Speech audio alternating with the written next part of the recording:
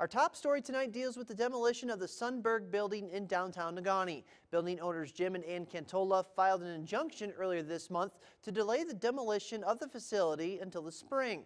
The city of Negaunee argued that removing the structure is long overdue. Marquette County building official and codes manager Paul Knox deemed the structure needed to come down immediately almost a year ago. The Cantolas wanted to delay the building demolition because the price tag associated with it, approximately $275,000, would be a big financial blow for them.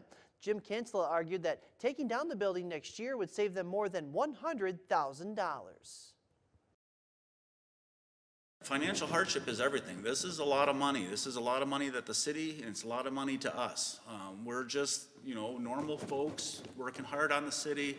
hundred and fifteen thousand dollars is a tremendous amount of money.